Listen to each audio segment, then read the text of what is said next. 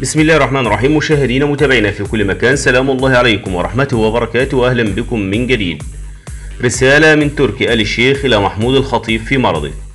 وجه تركي آل الشيخ رئيس هيئة الترفيه بالمملكة العربية السعودية رسالة خاصة إلى محمود الخطيب رئيس مجلس إدارة النادي الأهلي وذلك بسبب مرضه الأخير.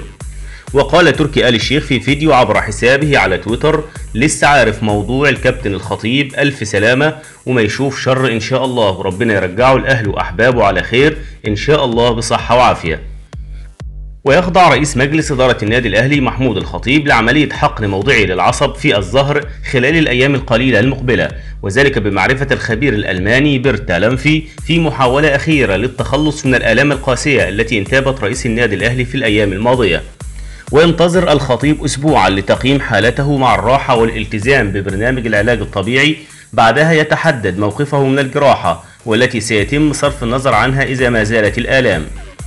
وقال الدكتور أحمد فرهود الطبيب المصري المعاون للخبير الألماني بيرتا لمفي أن محمود الخطيب سبق وأن أجرى ثلاث عمليات جراحية في نفس المكان.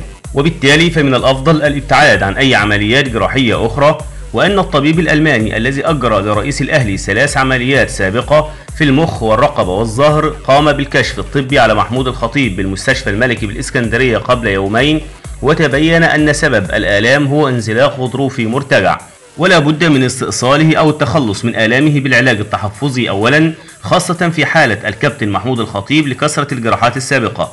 وإذا ما تم استنفاذ العلاج التحفظي واستمرت الآلام. بالتالي لابد من إجراء عملية جراحية في ألمانيا لاستئصال الغضروف وهذا الأمر سيتحدد خلال الأسبوعين القادمين في ضوء الآلام التي يشعر بها رئيس النادي الأهلي في ظهره. في النهاية بشكركم مشاهدينا متابعينا مع خالص تمنياتنا بالشفاء العاجل لكابتن محمود الخطيب رئيس النادي الأهلي. شكرا لكم مشاهدينا متابعينا والسلام عليكم ورحمة الله وبركاته.